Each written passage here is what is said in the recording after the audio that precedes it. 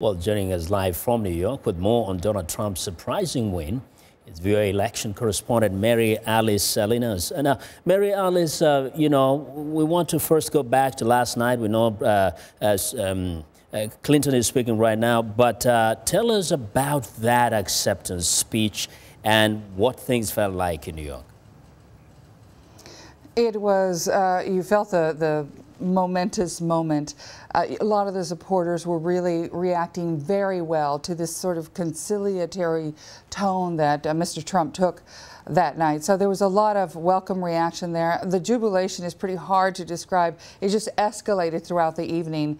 Uh, and, and so there was. Um, there wasn't the sense of shock I think that that you saw around the nation. A lot of the supporters there were saying, "We knew this was there. We we didn't believe the polls. We saw the support, and um, and they figured this is a historic moment that will be looked at for many many years to come."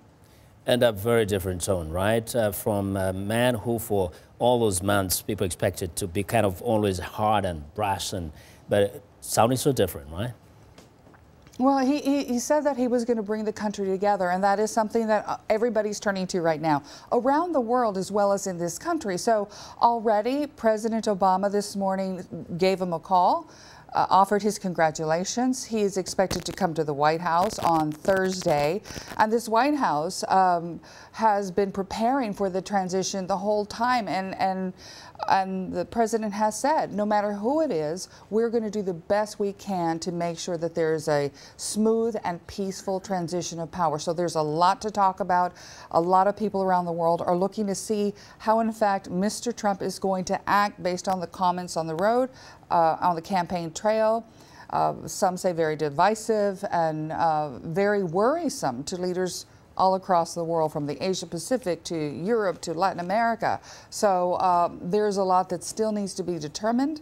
He needs to work on putting together the transition team. That's no small thing. I, uh, my understanding is that Clinton's team actually was further along in that process. So there's a lot on Mr. Trump's plate this morning. And very quickly, on the streets of New York, we know that was the stronghold of Hillary Clinton. What was the mood as you, you know, moved around? Well, it's interesting this morning on the way here, there was a huge crowd uh, at the hotel uh, where I, uh, some of the media are staying, and um, there's a huge long line. It was a very somber crowd. They were there to uh, support their candidate as she gave uh, remarks after after this stunning defeat last night. Um, it was much more subdued than the crowd I was around last night, of course, uh, but the crowd was huge.